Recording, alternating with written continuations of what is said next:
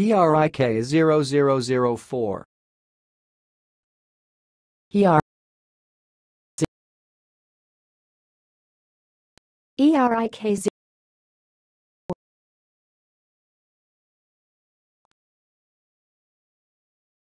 Please subscribe to our